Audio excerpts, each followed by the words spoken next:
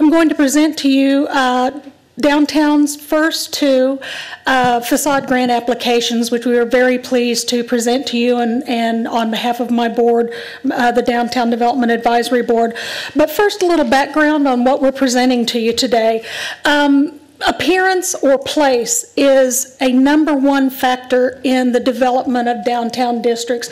Over 40 years as the Main Street program has evolved and we've seen what does and does not work in downtown and what's a number one deciding factor for development, new businesses, visitors and tourists.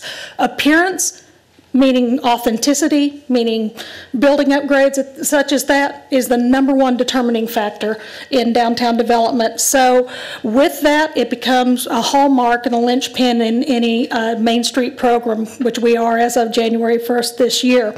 Um, so Mesquite's approach to facade improvement and how we got to where we are tonight. Um, we research the best practices of Main Street communities throughout Texas and throughout the nation of how they incentivize facade improvements within their downtowns. And then uh, we presented a uh, a policy for this, which you adopted in May of this year. This program, in essence, offers a 50% reimbursement on impro approved improvements to facades within the downtown area. And this is for 50% of anything above $2,000. So if you spent $3,000 on a project, you are eligible for $1,500 reimbursement. If you had a $40,000 project, you're eligible for 20. The project is capped at $20,000, meaning that if you had an $80,000 improvement project, your reimbursement would be capped at, at $20,000. So quickly the process and how this operates. First of all, an applicant uh, comes to us by a variety of means, but they eventually meet and consult with me um, and sometimes with our design uh, volunteers. And we consult about what's uh, appropriate to this program, what isn't, and we kind of walk them through the steps of what happens. Then the property owner or a business owner with property owner permission uh, secures a design for their improvements. Now they can do this one of two ways. They can work with their own contractor and get a design done, which one of our candidates did tonight, or they can work within the Main Street program. Uh, by virtue of being part of the Texas Main Street program, we offer free facade design services. These are for, by certified architects and designers within the staff of the Texas Historical Commission. So we're very proud of what they produce, and you'll see an example tonight. Then they also gather quotes for the work. So um, um, we can, we, we can take all of this into consideration as they apply. The first step on approval is to go through review by the Downtown Advisory Board. They either vote to or not to recommend this application to you, the council, for approval. Then, as we will, as you will tonight, the council considers for approval or not. Then, and only then, once council approves, the work may begin on the property. Once the work's completed, then staff will inspect it to make sure that the work that was completed is as agreed upon uh, when council approved the project. Once that's certified as appropriate and complete, then they are reimbursed 50% of their costs.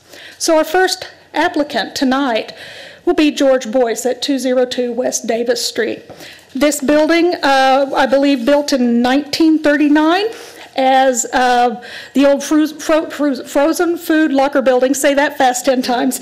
Uh, it's a 41 foot storefront, uh, about 2,900 square feet.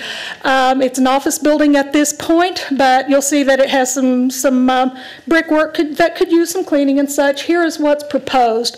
A new awning, and also a soft wash of the brick. We do not advocate power washing or sandblasting of old brick because it does degrade the brick and it causes uh, damage and it, it, compromises the structure at some point. So um, this was reviewed and approved by our advisory board. Here's the scope of work. So you'll see that they're uh, proposing standing seam awnings with closed smoothed ends, extruded steel or extruded seam metal, uh, the evergreen color. The framework is one inch galvanized steel. And then you see the soft uh, wash of the brick and you see the total of $5,600 approximately. The grant request is for $2,800 $2.97. It is something that we put in place a few uh, months ago. We've been talking about our downtown, and it's exciting to see things happening downtown. And this is just a, uh, to some may seem like a small step, but getting the appearance and the facade of these buildings updated is a tremendous step. And I think it shows the rest of our downtown that we're serious about uh, working with improving the downtown area of Mesquite. So Uh, That passes 5-0 with Councilman Aleman abstaining from this vote.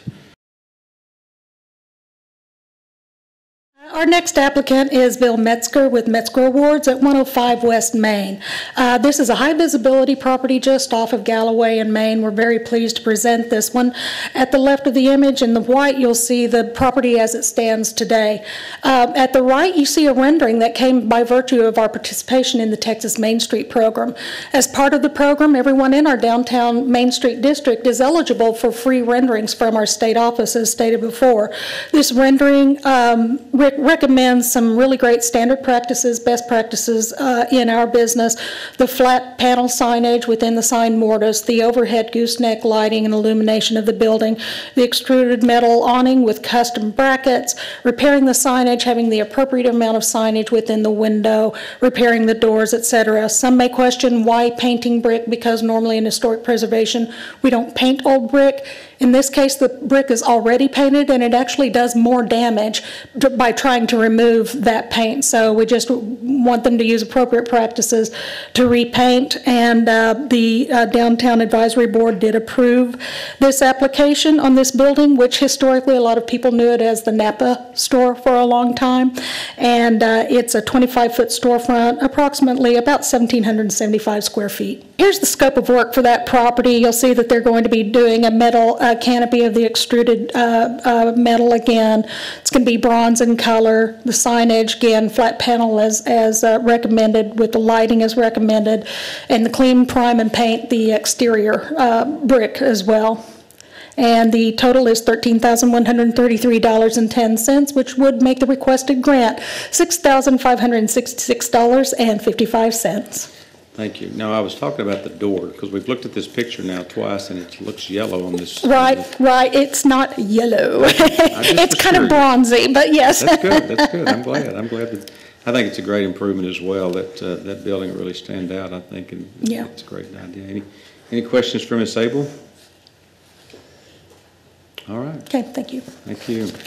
Mayor, I'll make a motion that we uh, approve item 15 and that we are partners with the Metzger family and invest in this property. I'm Excited about the investment that's going on. All right, we have a motion? I'll second that. We have a second. Any other comments or discussion? If not, please cast your vote. And that item passes 5-0 again with Councilman Aleman abstaining from that vote. So that passes as well.